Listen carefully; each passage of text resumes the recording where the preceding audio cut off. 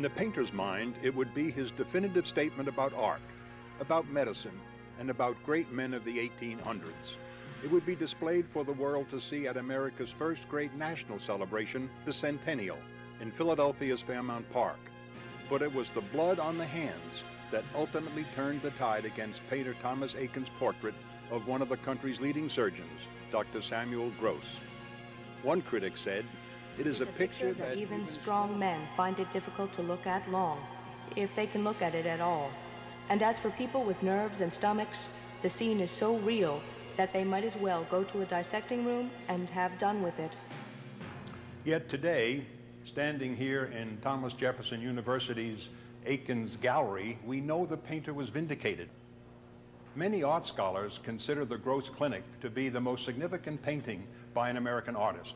It speaks to the unique experience healthcare professionals will find in the city, with its rich healthcare legacy, with its artistic heritage, and with its leading position in healthcare. The doctor inspires me with perfect confidence in both his skill and attention. I have never seen a medical gentleman who watched the symptoms with such vigilance, listened to his patient with such patience, and showed so much feeling and solicitude respecting him. That was America's first Chief Justice, John Marshall, who would have visited Philip Syng Physick, the father of American surgery and a graduate of the University of Pennsylvania, here at his Philadelphia home on 4th Street, just a few blocks from the Pennsylvania Convention Center. You can walk, as Dr. Physick did, from his home on 4th Street to the Pennsylvania Hospital, America's first hospital. It was founded by Benjamin Franklin and Dr. Thomas Bond, and it still is a center for health care. Inside, you'll find a grand historical medical library, a collection of nursing memorabilia that is one of the finest in the world, and Benjamin West painting of Christ healing the sick.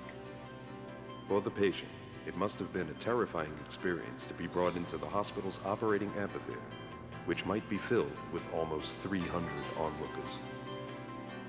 You can almost feel the ghost of Physick, of Gross, and other famous physicians in the surgical amphitheater, which takes advantage of natural light. Here, surgeons operated in the days before anesthesia. They offered their patients a choice of a dose of opium, or a conk on the head with a mallet, or as they said, plentiful drink, in hope that their patients would soon lapse into unconsciousness. A strong tradition of teaching has propelled Philadelphia into the forefront of healthcare education.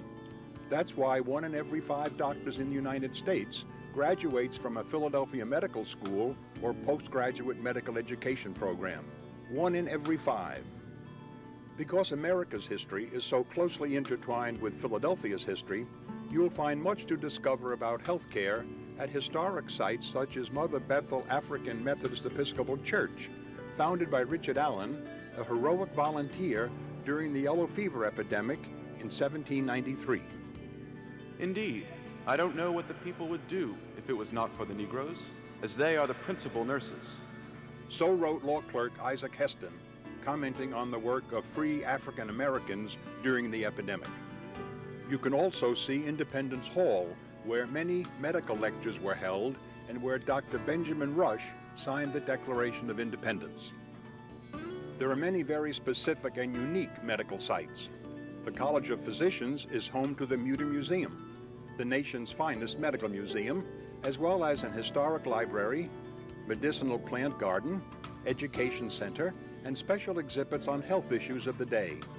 The College of Podiatric Medicine is known for its Shoe Museum, and the Temple School of Dentistry boasts of its Dental Museum.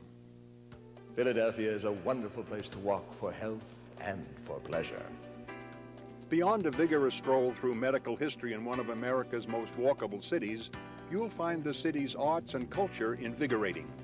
There's the Avenue of the Arts with the world-renowned Philadelphia Orchestra, the Philadelphia Museum of Art with its American, Impressionist, and 20th century collections, the Rodin Museum, and the Barnes Foundation with its fabulous Impressionist art collection, founded by a University of Pennsylvania Medical School graduate Dr. Albert C. Barnes.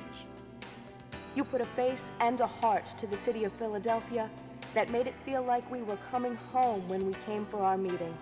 Healthcare represents one third of all conventions and meetings at the Pennsylvania Convention Center, which is the most majestic of its kind.